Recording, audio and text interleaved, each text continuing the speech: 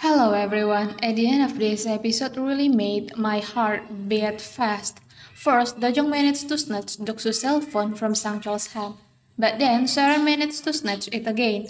Up to this point, I feel annoyed because Dajong has lost to Sharon again. But then, Dajong was seen smiling broadly as she got into Johan's car.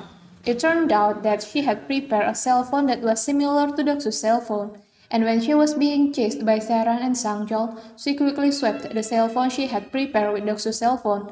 That means Doksu's cell phone is in the Dajong's hand. At that time, she and Johan didn't immediately activate the cell phone because they had to meet Bobae first. At the hospital, Youngsik and Aja are ready to smuggle Bobae out of the hospital. Bobae resists and opens her eyes to ask for help, but Youngsik drags her so she passes away. Luckily, Johan and Dajong run into Aja and Youngsik, so they are able to stop what Aja and Youngsik were doing. In the preview for the next episode, Aja and Youngsik manage to escape and Bobae remains safe.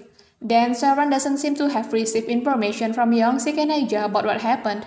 That's why in this preview, we see Secretary Yang pushing Sharon into Bobae's room. Sharon never disappointed in upsetting. Even when her lies were exposed, she still said that she had done nothing wrong. In the end, Sharon was arrested by the police and she will be held accountable for all her crimes and fraud that she has committed so far. And at the end of this preview, Dajong, Johan, and Bobae hear a voice recording on Doksu's cell phone. In the recording, Doksu said that there was evidence that Bobae and he had the same genes. Based on Doksu's voice recording, Bobae concludes that Doksu is probably her son. It looks like this problem is really over. The next problem that must be resolved is Johan, who still has to take over Dreamfoot, and Hale, who is still finding out what happened in the past. Okay everyone, that's the preview for this time and thank you for watching my video.